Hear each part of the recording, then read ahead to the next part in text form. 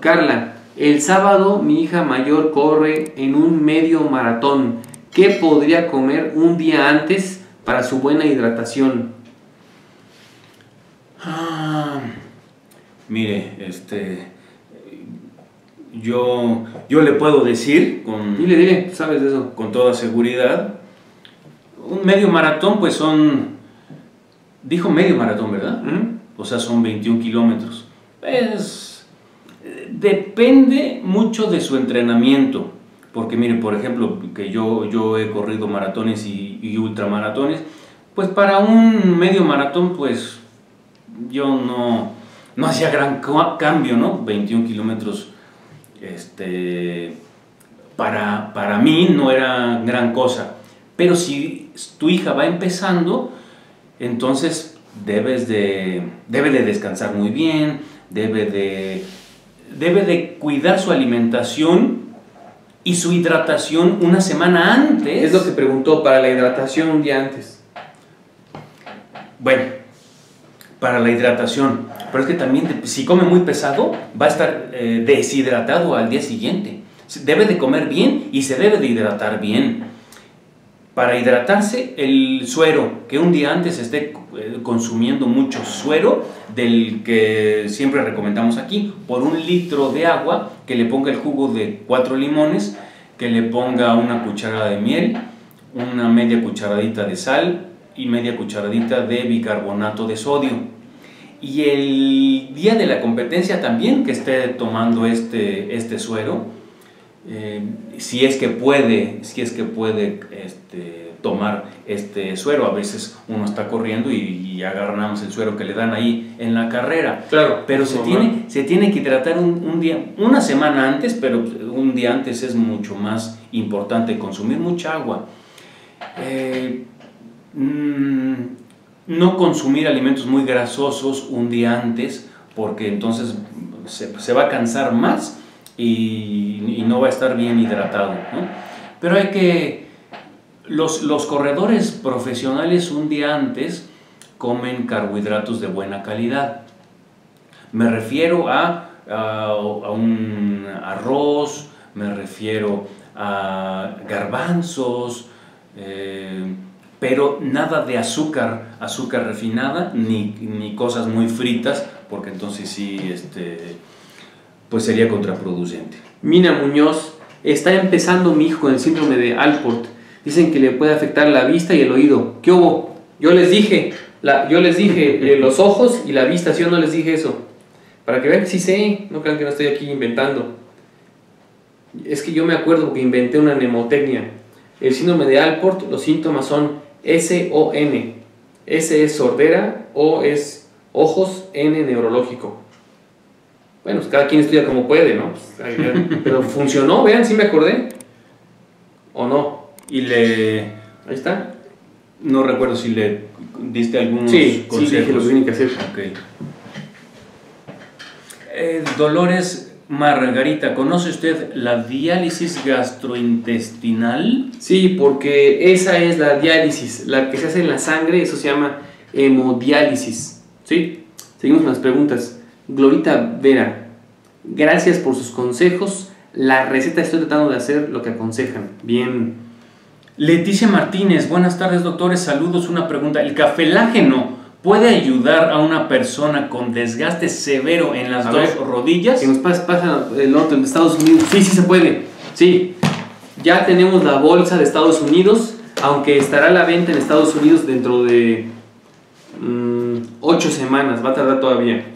Es la bolsa mexicana. Quiero que la vean qué bonita está. Del cafelágeno.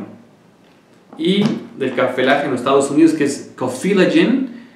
Ya estará a la, a la venta el nuevo, la nueva bolsa. En 8 semanas estará a la venta.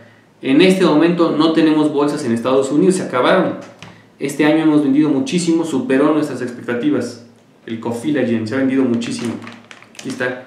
Pero claro que sí, Leticia te puede, te va a ayudar mucho para, tu, para todas tus articulaciones, sobre todo para las rodillas. Y también ayuda para la caída del cabello. Es que el colágeno ayuda para muchas cosas. Y quiero que sepan que el 8 y 9 de junio estaremos en la Expo Guadalajara. Eh, se llama Expo Bien Fest. Los que quieran ir, vayan a apoyarnos. 8 y 9 de junio en la Expo Guadalajara. Seguimos. ¿Tienes por allá? Sí, muchas. Luna Ramírez. A mi mamá le salió un espolón. No puede caminar por el dolor. ¿Qué se puede hacer? Gracias. Meter los pies en una cubeta con agua caliente. Le pone un puño de sal y quedarse ahí unos 15 minutos diario. Eh, también sería bueno que se pongan cataplasmas de barro. Sería bueno que vea un quiropráctico, a un alfabiotista, sería buenísimo que lo viera. Y cambiar régimen vegetariano. Mira, mira, quiero pasar esta, este comentario, es de, mi paciente, lo acabo, lo acabo de ver. Sonia Elizabeth, em, llevo cinco días con el tratamiento con el doctor Alejandro y cosa increíble, se me quitó el ardor que sentía cada vez que iba a orinar. Sentía con ese problema, tenía con ese problema más de cinco meses y con tan solo cinco días con la dieta y su medicamento se me quitó. Estoy muy agradecida, primero con Dios, después con mi amiga que me llevó con ustedes y agradecida con ustedes. Gracias doctores, debería de haber muchos doctores como ustedes. Excelente. Mira, que claro que le di un tratamiento fuerte, unos jugos fuertes, pero es que su problema estaba eh, delicado. Pero pues es que si hacen el tratamiento, si se animan a venir a, a consulta, ese es el resultado de, una, de un tratamiento natural, de la de las hierbas medicinales, ese es el resultado, es una maravilla. Y yo los invito a que, aunque estén sanos, cambien su alimentación a una dieta vegetariana o lo más eh, natural que se pueda y les va a ir súper bien. Voy a pasar una pregunta del YouTube. Chenchi. Buenas tardes, doctor. Algo para la alergia crónica. Saludos de Oaxaca. Ah, saludos a, saludos a Oaxaca. Las alergias depende de donde sea, si es respiratoria, en la piel, digestiva, eso no lo ha dicho, pero en general el fenogreco es de lo mejor que hay. Eh, pues tomado, una cucharada todos los días, licuado con jugo de naranja, sería fenomenal. El polen de flores sería bueno, aunque, aunque no lo crean, pero sí sirve. La miel, comer miel todos los días, el té de jengibre con mucha miel, eh, suspender lácteos, suspender harinas, bañarse con agua fría. María Ortega, buenas tardes doctores, disculpen, ¿el ajonjolí produce cáncer de mama? No.